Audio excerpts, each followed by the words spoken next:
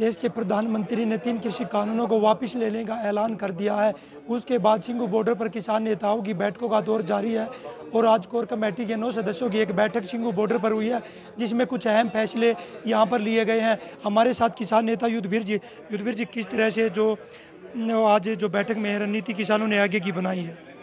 देखिए, आज तो नौ मेंबरी कमेटी की जो मीटिंग थी, उसमें काफ़ी चर्चा करने के बाद ये तय हुआ कि 22 तारीख का 26 तारीख का और उनतीस तारीख का जो पहले से तय कार्यक्रम है, वो उसी तरह से होगा, उसमें कोई परिवर्तन नहीं होगा। 22 में लखनऊ में मीटिंग होगी 26 में मोर्चों पे संख्या बढ़ाएँगे और उनतीस तारीख को दिल्ली मार्च करेंगे। जिस तरह प्रधानमंत्री ने कहा कि तीनों कृषि कानून वापस ले लिए जाते हैं और किसान खुशी खुशी अपने घर जाएँ, अपने खेतों को लौटें प्रधानमंत्री शायद भूल गए। जब भी पहले बात होती थी, वार्ता में हम बैठ के बात करते थे और हम कहते थे, एमएसपी पे फैसला कर लो। तीन कृषि कानूनों में गतिरोध है तो पहले एमएसपी के विषय को फाइनल कर लेते हैं। तो कृषि मंत्री हमेशा ये कहते थे कि तीन कानूनों पे बात हो जाए, फिर एमएसपी बात करेंगे। तो एमएसपी पे तो बात हुई नहीं है ना। एमएसपी हमारा नया विषय नहीं है उसी दिन से पहले जो पहला, शुरू में मांग पत्र दिया था, उसमें एमएसपी भी है पराली को लेके जो प्रावधान कानून का किया गया था, वो भी है और बिजली बिल 2020 भी है। तो वो तमाम मुद्दे जो हैं हैं, वो सेटल होने बाकी हैं।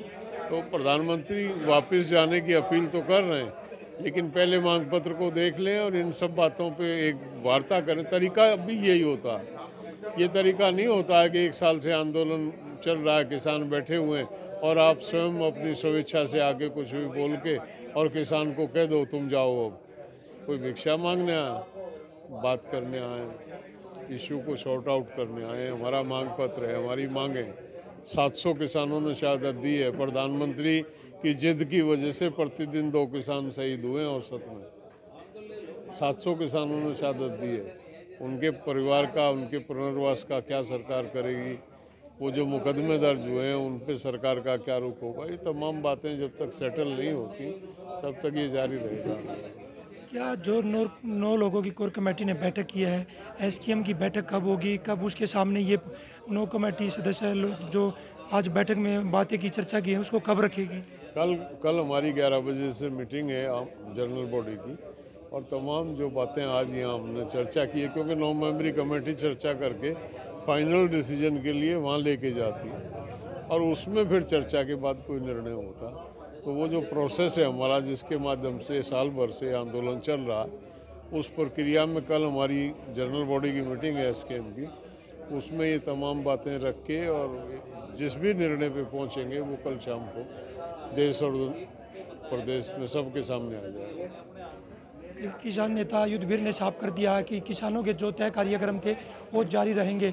उनतीस नवंबर को टिगरी और गाजीपुर बॉर्डर से 500-500 किसानों का जत्था दिल्ली कूच करेगा और आंदोलन लगातार जारी रहेगा, क्योंकि कुछ मांगे किसानों की हैं। जो एमएसपी की बात हो या किसानों पर मुकदमे दर्ज, उसकी बात हो, उसको लेकर लगातार कह रहे हैं, जब तक सरकार सभी मांगों को पूरा नहीं करती है, तब तक आंदोलन जारी रहेगा। सोनी बच्चे पवन राठी, पंजाब के सिटी हमसे जुड़े रहने के लिए हमारे YouTube चैनल को सब्सक्राइब करें और नई वीडियो की नोटिफिकेशन के लिए बेल आइकॉन को दबाएँ।